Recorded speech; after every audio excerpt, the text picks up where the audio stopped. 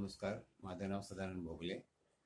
हे जे काय संकट करोनाचं आलं आहे ते फक्त आपल्या भारत देशावर न पूर्ण जगावरती आलेलं आहे ह्या संकटातून आपल्याला काहीतरी नवीन शिकायला सुद्धा मिळालं आहे माझ्यासारखा कमर्शियल आर्टिस्ट प्रमाणे इतर क्षेत्रातील वेगवेगळे आर्टिस्ट आहेत त्यांनी ह्या संकट ह्याला संकट न मानता संधी समजून आपापल्या प्रमाणात आपला आविष्कार दाखवून यातून मार्ग काढला पाहिजे.